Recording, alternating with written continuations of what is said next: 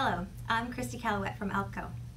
Today I'll be walking you through a comparison of colorimetric and chemiluminescent enzyme-linked immunosorbent assays, also called ELISAs.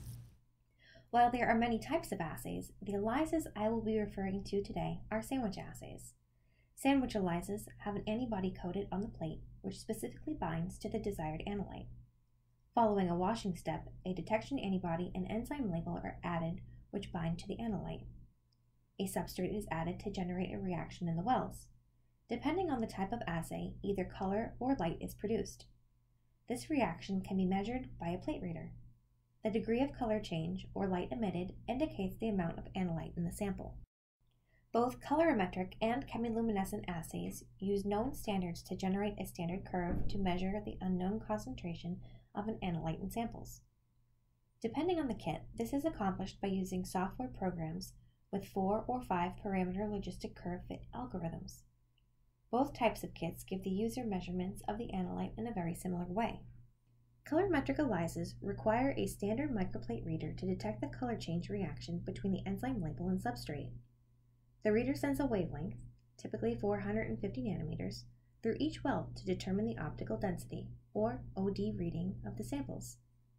Depending on the plate reader, the OD readings provided are between 0 and 4 to the thousandth decimal point. The OD readings are limited by the capacity of the spectrophotometer. Chemiluminescence ELISAs require a microplate reader capable of measuring luminescence to detect the light reaction between the enzyme label and substrate. The light given off by the reaction in the wells is transmitted by a fiber optic cable to a photomultiplier in the reader which outputs relative light units, or RLUs. Depending on the plate reader, RLUs can range from hundreds to millions. This spread of units allows users better analytical sensitivity and a broader dynamic range by giving more separation between points and reduces the limitations of optical density readings from a standard microplate reader. Now I'm going to show you what generally comes in our colorimetric and our chemiluminescent ELISA boxes and how these kits are only slightly different.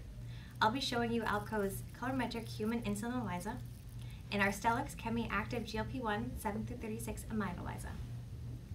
First, we'll start with ALPCO's colorimetric human insulin ELISA. In this colorimetric assay, you'll receive a 96 well microplate. The plate is clear to allow for OD measurements of the color in the plate. Zero standard. Standards A through E. Each vial has known values of insulin to establish the standard curve. Controls containing known values of insulin for quality control, enzyme label detection antibody, wash buffer concentrate, TMB substrate, which during incubation changes wells blue, stop solution, which is added to stop the color change reaction in the wells, turning the wells yellow, and plate sealers. Next, we have ALPCO Stellux Chemi Active GLP-1 736 amide ELISA. In this chemiluminescent assay, you'll receive active GLP-1 96 well microplate. Notice how the chemi plate is black instead of clear. A black plate reduces background light interference when the plate is read. Standards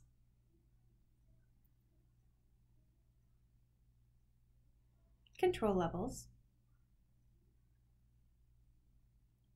Assay buffer detector antibody, detector antibody buffer, wash buffer concentrate,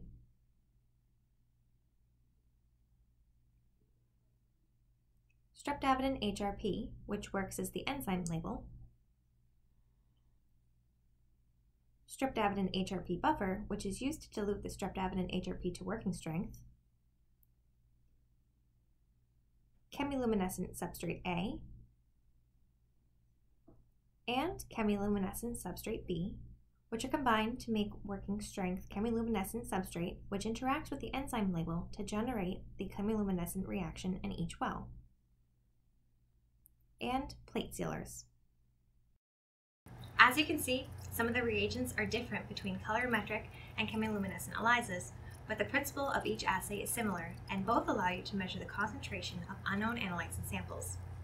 Whether you use colorimetric kits or are interested in trying our chemiluminescent assays, we have something for you. ALPCO is here to help you explore the possibilities for your lab. To see our complete ELISA offerings, please visit our website at www.alpco.com. We have many great resources to help you with your project, so please take a look around. You can also reach me directly at ccalouette at alpco.com or 603 681 2555. Thank you for watching.